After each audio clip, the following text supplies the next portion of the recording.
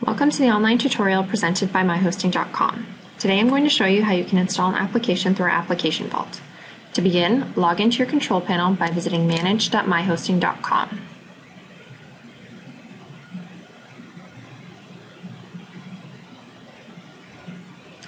Once logged in from the subscription dropdown, select your subscription and select the Applications tab. Select the application you would like to install and select the Install button.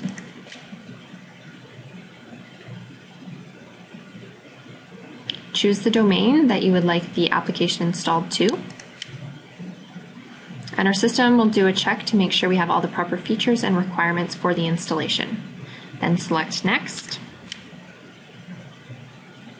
The application will be installed to the slash WordPress directory. However, if you would like it saved to your main directory, you can just use slash, but for this, we're going to keep it WordPress. You can select your admin login and password. You can either create your own password or generate new. For this, we'll generate.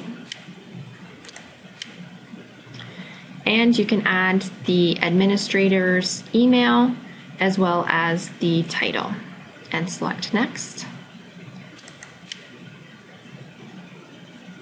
Here we can review all of our options. And if we scroll down, select finish.